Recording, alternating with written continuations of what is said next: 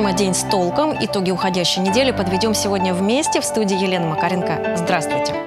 Главная тема этой недели. Алтайские депутаты большинством голосов поддержали законопроект о введении QR-кодов.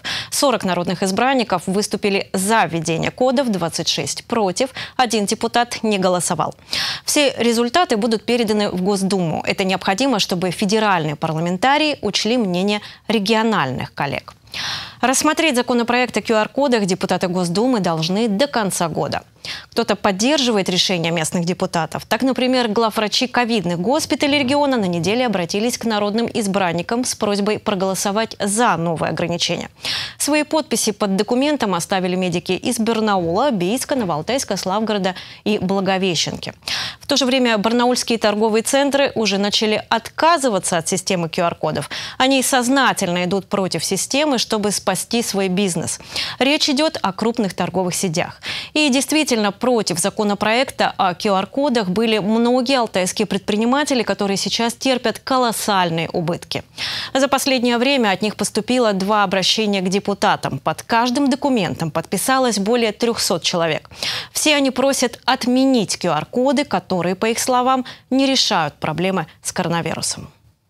В отдаленной перспективе мы видим серьезные угрозы свободе личности, демократии. Выродиться это может э, в различные сюжеты контроля за перемещением человека.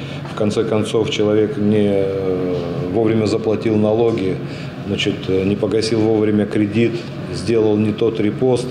Значит, давайте отключим его от QR-кода. Здесь даже мы выступаем не столько Э, э, в поддержку предпринимателей и бизнеса, сколько вот э, по фундаментальному вопросу ограничения свобод гражданина.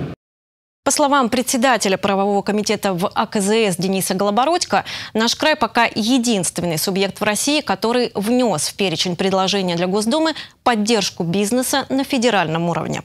Но есть регионы, которые самостоятельно принимают меры для помощи предпринимателей. К примеру, в соседнем Кузбассе депутаты скоро будут рассматривать вопросы снижения налоговых ставок, уменьшения налога на имущество и возврата части денег из ранее оплаченных средств. Предложения алтайских депутатов несколько иные. Основные предложения – это медицинские, которые касаются вообще порядка работы именно с QR-кодом, да, с этих двух первых штриховым кодом. Это уровень антител. Обязательно нужно учитывать при выдаче этого QR-кода. Соответственно, нужно учитывать медотводы.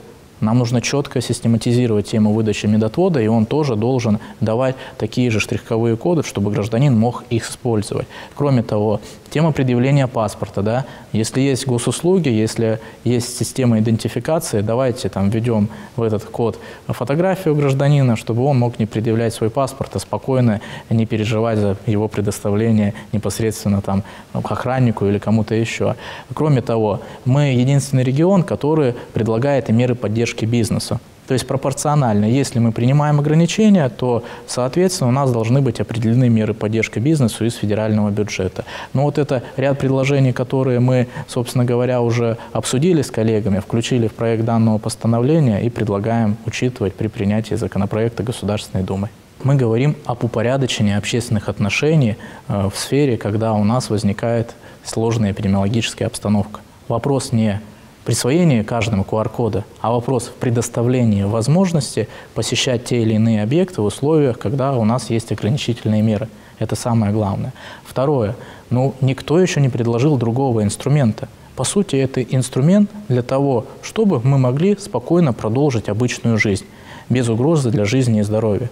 Кроме того, если мы говорим о принятии данного законопроекта, то нас не интересует тема там э, QR-кодизации или нет. Нас интересует тема сохранения вообще, в принципе, устоя, который сложился, и для того, чтобы у нас не было никаких локдаунов. Поэтому, когда многие пытаются спекулировать на этой теме, мы задаем четкий вопрос.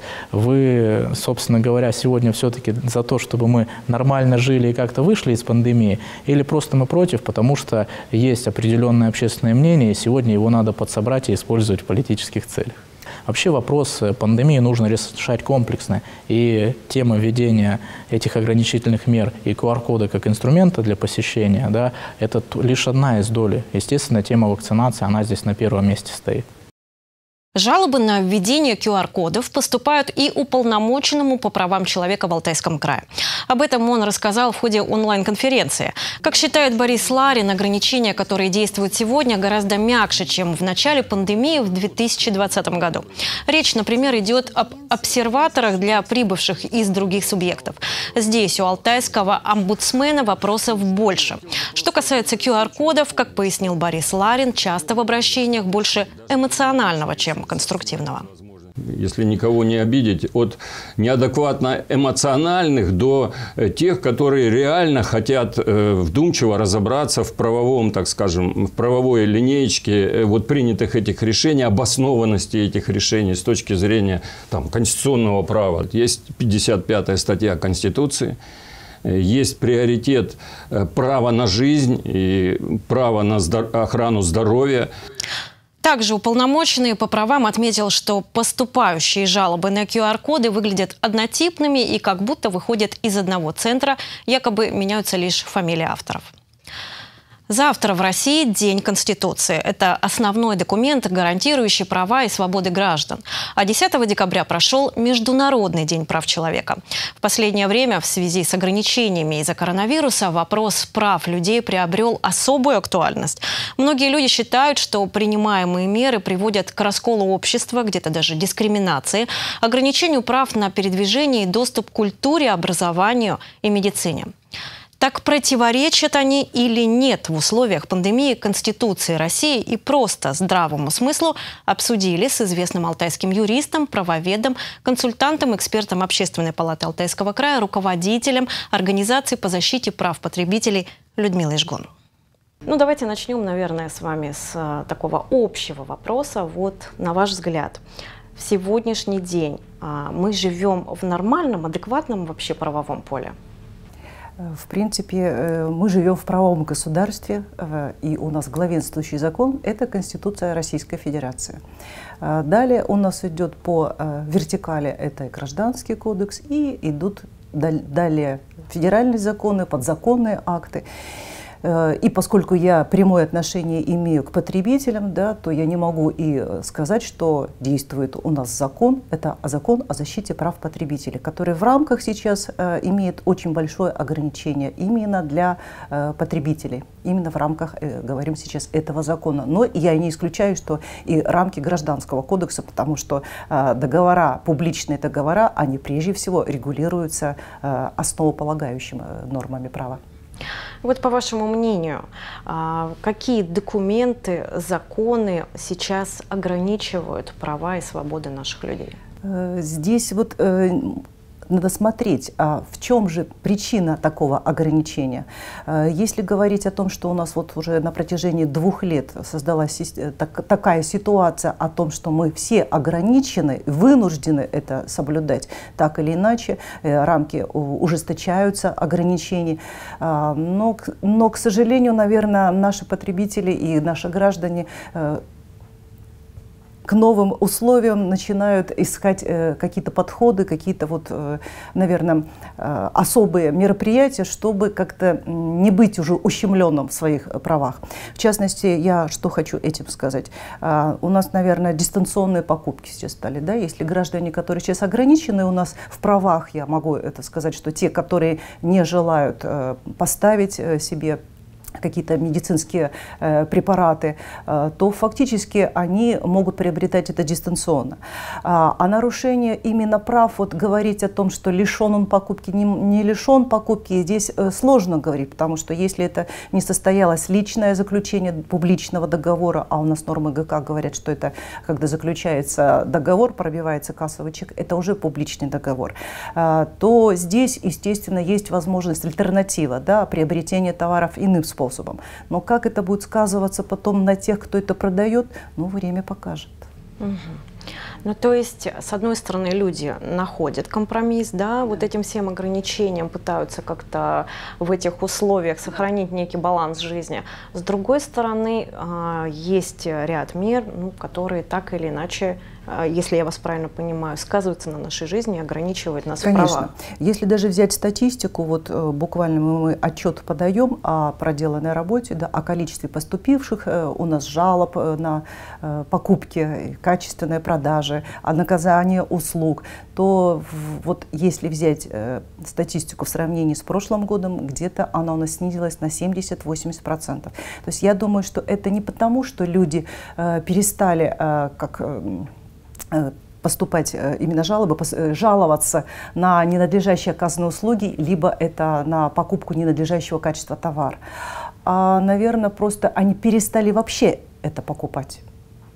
И поэтому э, очень возникает проблема именно, наверное, у предпринимателей, скорее всего, да, потому что, э, потому что падение покупательского спроса, это уже сказывается, естественно, на работе всех э, предпринимателей, юридических лиц. Если вот сейчас тот законопроект, э, который решается вопрос о внесении изменений, который э, может вступить в силу с 1 февраля 2022 года, то, естественно, процент людей, которые хотят получить услугу вне территории России, он, естественно, будет падать и будет ограничено. Людмила Алексеевна, ну вот сейчас очень активно, на днях, но все об этом знают, а, будут рассматриваться предложения в федеральный закон по введению QR-системы. Во всех регионах идет обсуждение, в том числе с общественными палатами. И вот где-то регионы а, так активно достаточно привлекают общественников, народ к этому обсуждению, а где-то, а, на мой взгляд, все так несколько ну, срежиссировано, что ли, да, и какие-то а, изменения, они а, ну, такие очень точечные, в целом система не, не меняется. А, как вот вы оцениваете а, работу в этом смысле в нашем регионе? Как у нас проходит это все?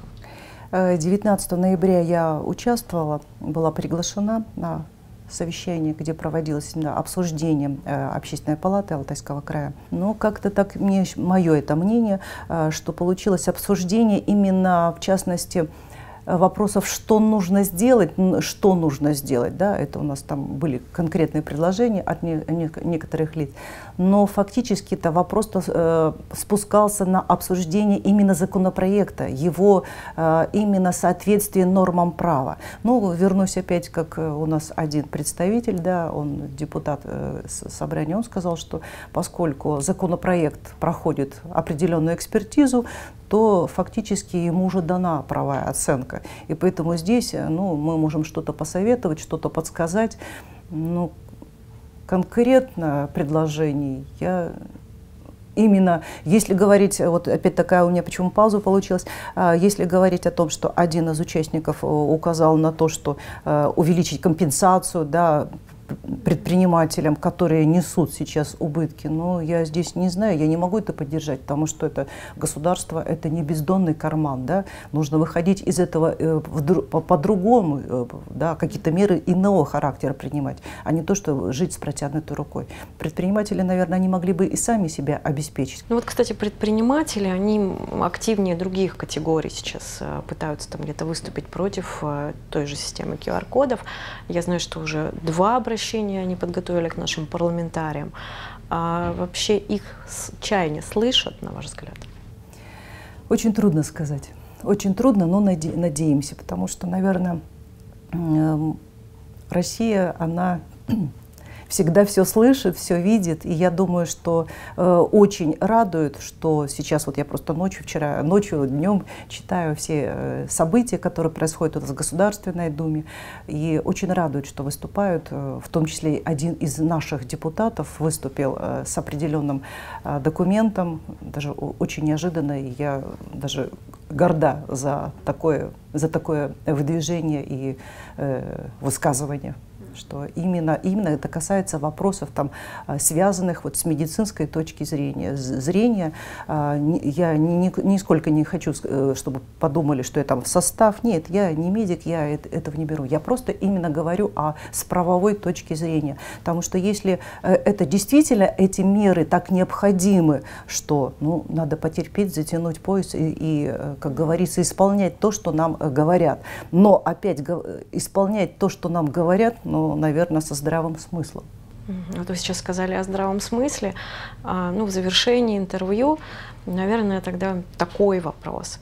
Вообще, а, принимая законы, на что нужно опираться, что нужно учитывать, помимо каких-то вот, ну, сугубо юридических аспектов, на ваш взгляд, правовых? Наверное, человеческий фактор. Мы сейчас все оказались и, и за, и против, куда мы идем в одной, живем в одной лодке, и поэтому нам дальше жить.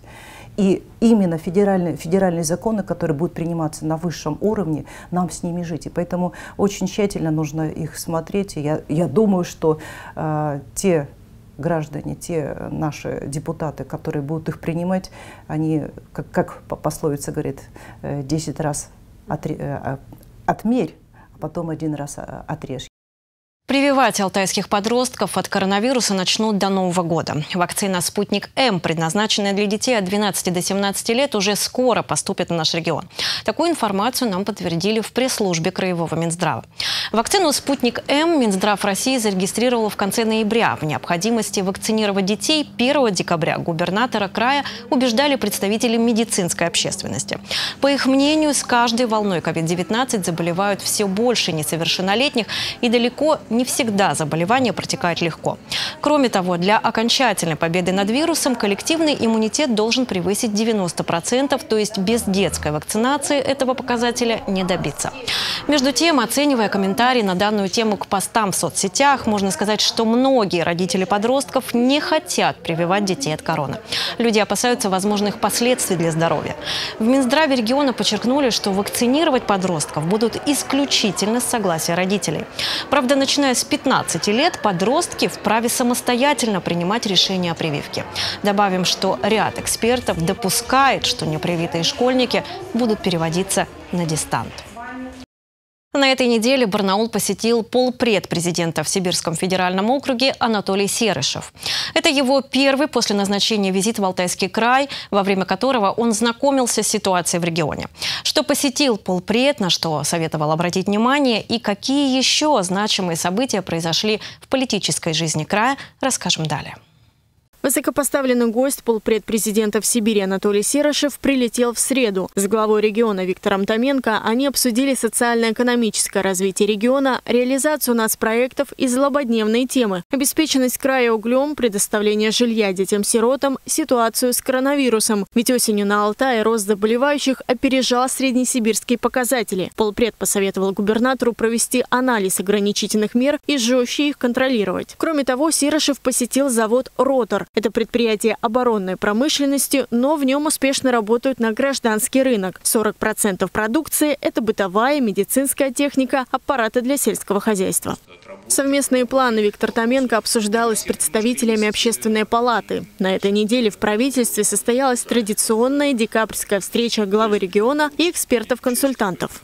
Это уже третья наша встреча, то есть это уже говорит о регулярности некой взаимоотношений и, соответственно, работы. И, конечно же, это э, влияет дополнительно и конструктивно на работу общественной палаты. Год назад участники подняли 11 тем. Совместную деятельность обе стороны оценили как продуктивную. Виктор Томенко подчеркнул, общественная палата активно включалась в темы вакцинации, поддержки бизнеса, развития региона и принятия краевого бюджета, организовывала на своей площадке слушания и дискуссии. Конечно же, и с, со своими инициативами общественная палата выходила. Мы прекрасно помним подход к уточнению и э, выходу на окончательную редакцию э, значит, закона об ограничениях по продаже алкогольной продукции в многоквартирных домах. Губернатор оценила большой вклад палаты в проведение сентябрьских выборов. Работу четырех с половиной тысяч общественных наблюдателей организовали так, что в результатах голосования сомнений не было. А два представителя палаты прошлого созыва в этом году стали краевыми депутатами. Это признание жителями. По достоинству на этой неделе оценили коллектив Краевого театра драмы. В Москве состоялся финал всероссийского конкурса «Звезда театрала».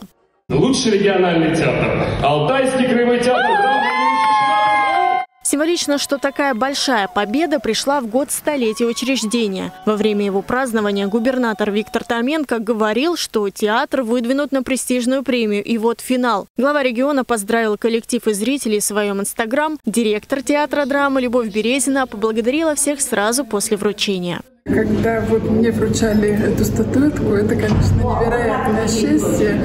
Счастье того, что мы поставили не точку в праздновании столетия, а поставили такой яркий восклицательный знак. Особенность этой премии в том, что победителей путем голосования определяют зрители. В номинации «Лучший региональный театр» у нас было два конкурента – из Ярославля и Севастополя. Но поддержка алтайских жителей перевесила, и Алтайский драматический в итоге лучший региональный театр. Анастасия Дороган, «День с толком». Аграрный сектор края нуждается в новых бизнес-проектах. Об этом заявили участники научно-практической конференции посвященный вопросам технологического предпринимательства. О том, как обстоят дела со студенческими бизнес-проектами, расскажет проректор по экономической работе Аграрного университета. Если говорить э, свою оценку, то эти обороты набирают. Сегодня большинство э, вузов э, как регионального, так и федерального значения запускают такие проекты, как стартап, как диплом, и начинают развивать такое движение у себя в университетах. Я думаю, с позиции руководства топ-менеджмента вузов в этом направлении количество стартапов в ближайшее время должно увеличиться. Ребята идеи, с одной стороны, берут из э, реальной сферы экономики, да, от реальных заказчиков. Другую часть проблематик мы даем в ВУЗе, имея собственную научную наработку тех проблематик, а некоторые темы вообще рождаются из голов студентов, да, которые носят эксклюзивный и новый характер. Сегодня актуально стоят вопросы по цифровизации различных э, производственных процессов, в том числе управленческих аспектов, э, разработки проектов в сфере агробиотехнологий имеют перспективу. Тот активный студент, который загорелся своей идеей, он не смотрит на те преграды, он все равно идет, э, добивается своей цели, потому что вот яркий пример наших студентов, когда ребята взялись инициативная группа, разработали проект под руководством ведущего преподавателя и дошли до финала и презентовали благополучно на конкурсе в технопарке Сколково. И, кстати, прошли э, в полуфинал. Ну, к сожалению, не вышли в финал, но это все равно значительный показатель. Мы со своей стороны, развивая инфраструктуру и УЗИ, стараемся им помогать в части нахождения бизнес-ангелов, менторов, э, каких-то, может быть, заказчиков, да, конкретных разработок под их тематики, для того, чтобы они могли в дальнейшем реализовать свои э, стартапы именно в практическом производстве. Результаты проверки по громкому ДТП на железнодорожном переезде в Тальменском районе станут известны до конца года. На сегодняшний день в крае обсуждают вопрос повышения безопасности переездов, о новых фактах трагедии, в которой погибло трое детей, и о том, появится ли все-таки на злополучном месте шлагбаум в специальном репортаже Софии Яценко. Как она в это время попала? Все удивляются просто. Всегда же все останавливались. Или, она, что ли, так летела на скорости, не знаю. Вот. Превысила скорость, проехала на красный, забуксовала. Жители сел Луговое и Наумово продолжают гадать, что могло случиться в тот роковой день на железнодорожном переезде. Напомним, 29 ноября легковушка с пятью пассажирами влетела под снегоуборочный поезд, который протащил «Тойоту» несколько сотен метров. В результате происшествия трое школьников погибли на месте. Двое выживших, второклассник и его учительница, которая управляла авто, до сих пор находятся в больнице. Отчество как у вас? Александровна. Александровна. А дата рождения у вас? Куда ехала, блин? Дата Куда рождения скажите.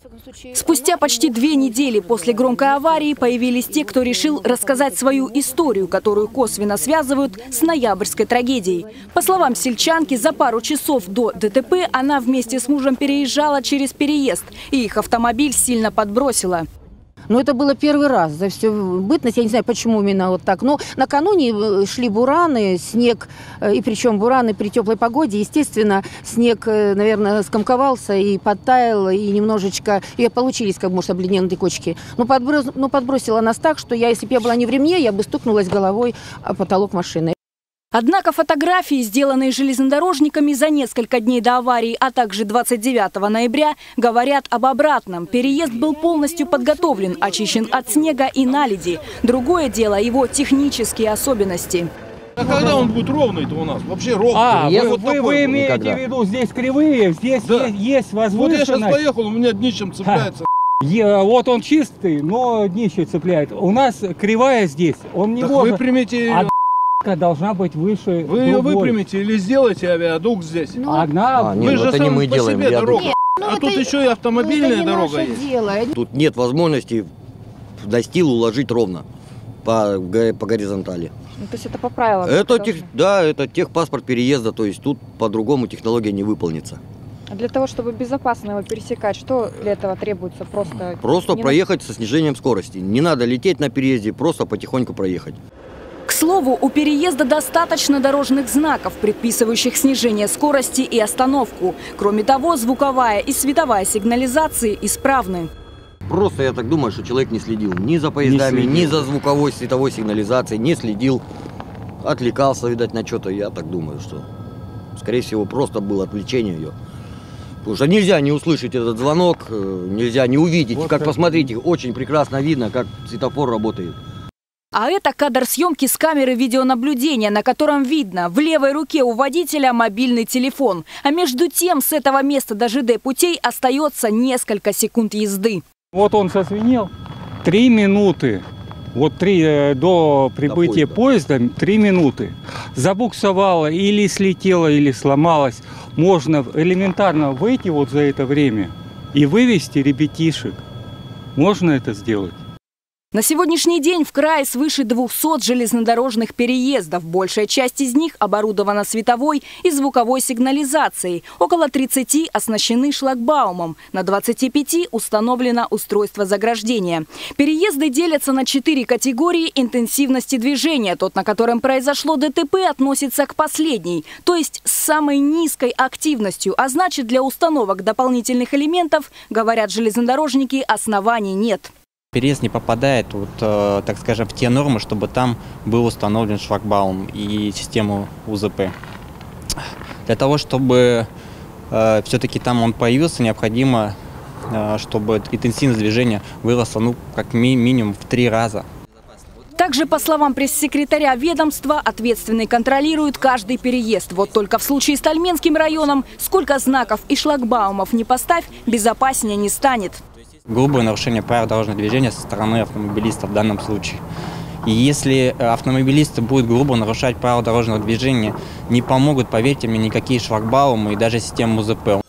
Впрочем, железнодорожники отмечают, что самые безопасные переезды – те, над которыми возведены путепроводы. Такой есть в Рибрихинском районе, следующий может появиться и в Панкрушихинском. В Тальменском, по мнению специалистов, строить такой нецелесообразно. Шлагбаум тоже не обещают. София Яценко, Андрей Печоркин, Александр Антропов. День с толком. Прокуратура города и края на этой неделе утвердила обвинительные заключения сразу по двум резонансным делам, которые произошли в этом году. Первое касается убийства сотрудника полиции. Речь идет о громком преступлении, которое произошло в июле этого года. Участковый по Ленинскому району приехал домой к обвиняемому, чтобы вручить мужчине повестку. Ранее судимый гражданин выстрелил в голову полицейского, отчего тот скончался, а затем злоумышленник сжег и служебный автомобиль. Уголовное дело направлено в Алтайский краевой суд. Добавим, погибшему было всего 39 лет, у него остались жена и трое детей.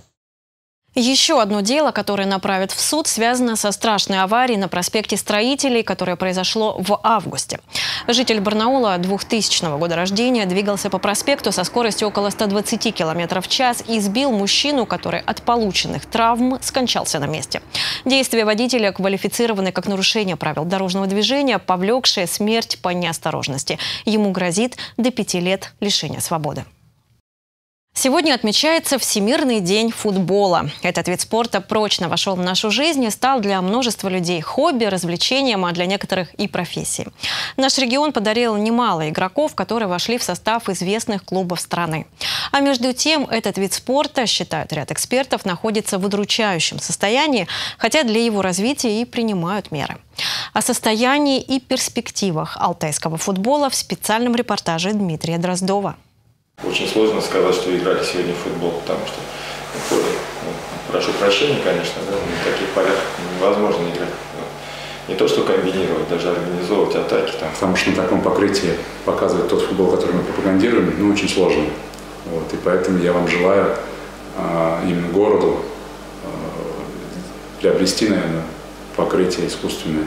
Только ленивый не кидал камень в адрес спортивных чиновников края из-за состояния поля на стадионе «Динамо». Но сюда же можно отнести и отдельные тренировочные базы, которых, к слову, не достает. Я вот недавно побывал э, в Краснодаре на их базе. Э, то есть, ну, там космос, ну просто космос, это, не знаю, какая-то другая планета, как будто я приехал. И там еще старая база, скажем так, э, иде идеально, а там уже строится новая. Там настолько все, структура выстроена, мне очень понравилось, что там есть и молодежная команда, есть Краснодар-2, и ФНЛ-1 играет, и есть главная команда. То есть там настолько все это по ступенькам, то есть ребенок, все, вот-вот-вот-вот-вот он идет. То есть нет вот этой пропасти. Изношенная инфраструктура – лишь одна проблема алтайского футбола. Упирается она, конечно, в первую очередь и в деньги. Дефицит средств игроки команды мастеров ощущают и на собственном кармане. Например, бюджет барнаульского клуба «Динамо» по большому счету не менялся более 15 лет. А это резко ограничивает возможности ездить на сборы, улучшать тренировочный инвентарь и повышать зарплаты игроков. Команда, по мнению тренерского штаба, превратилась в донора для других клубов.